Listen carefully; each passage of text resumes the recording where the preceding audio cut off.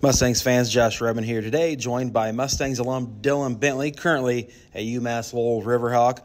Dillan, we talked about a little bit about the ladder of progression, NA3 to NAHL, now to NCAA hockey. How is playing here in Peoria and then coming to camps and just working through the summers, how's that helped you in your career from start to right now?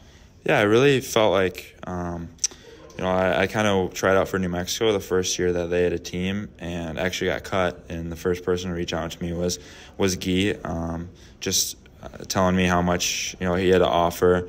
And I just didn't realize it at the time, but it was the best move for my hockey career to come here to Peoria and to learn from them, especially Guy. I feel like the and, uh, Guy, Blake, Hags, uh, all those guys I and Ordy. I feel like all of those guys have helped me so much in my hockey career. Um, I'm so g- grateful for them, and especially just I feel like most of the things that I've learned in hockey has been from from those four four guys and and everyone else in the Peoria youth hockey, especially. Uh, it, it, feels like home when you're here, and it was uh, the right move for sure to come here and play in the NA3. I feel like a lot of people can give it a bad rap, the NA3, but it's the perfect choice for someone that's looking to move on their hockey career. And um, it's it's also just about how much you want to put into it. I mean, as a junior hockey player, you're you have nothing else to do other than play hockey, and um, it's kind of a unique scenario for most people. You know, most sports don't don't do that. They go straight to college.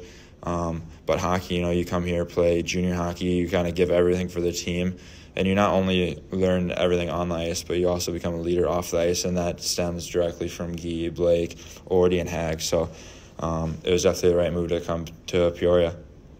So, looking at it is training camp time here for the NH, NA3HL Peoria. The last three seasons post COVID, you've attended training camp here, skated with the guys, you know, played in the scrimmages against the guys. How do you feel that helps them to achieve what you've achieved? Yeah, I think it kind of um, kind of gives the guys uh, um, a little bit of hope. Says you know, kind of see what hard work can can do for everyone. And also, I mean, I'm I just love hockey, so I love skating, and these this is part of my favorite um, part of the year. I mean, I flew in yesterday, and I was so excited to come here and skate in the morning.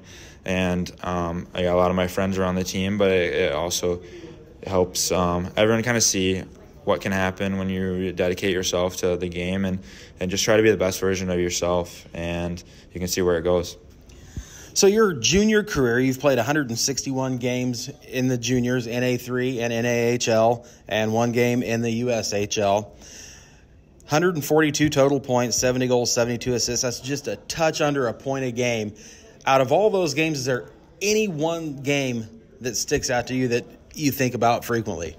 Yeah, I mean, honestly, I think my second game in um, here in Peoria, that's I think it stands out to me because uh, my first and second game here in Peoria because I was just a young kid. I didn't know much. I, I you know, you think you know everything when you're young, but you don't. And I just had to. I realized that I had to listen to to the coaches. Uh, I just remember Guy on the bench.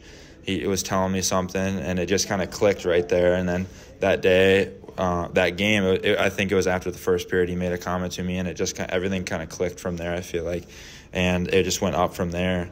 Um, but yeah, definitely my first and second game in uh, in the NA three, and then um, I would say my first year in New Mexico or my first game in New Mexico. It was just I felt like the pace was really fast, and it really helped me because I went there, played one game, and then came back here to um, the NA three and I realized how much I really had to push myself and how much I had to work. So those games really, really stick out to me. And looking now, UMass Lowell Riverhawk last season, freshman year, you saw action in 22 games, five total points, two goals, three assists, a game winner thrown in there. How much different is that college game from the North American League and the NA3? Yeah, it's. I wouldn't say it's much faster. It's not, it's more the guys are in the right spots. So everyone's everyone can skate. Everyone's fast. Don't get me wrong, but everyone is also um, their hockey IQ is is way smarter. Everyone's in the right spots.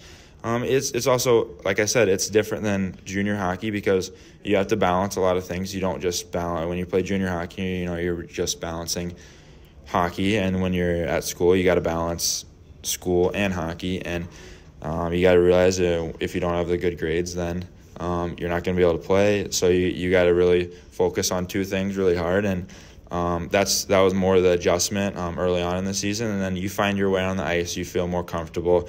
You fall the spots, and then um, then the year ends, and you have you know you now I'm going in this year as a sophomore, and you have more confidence. You have you know you know everybody. You're not as nervous. You know the coaching staff. So it um, it was a good year.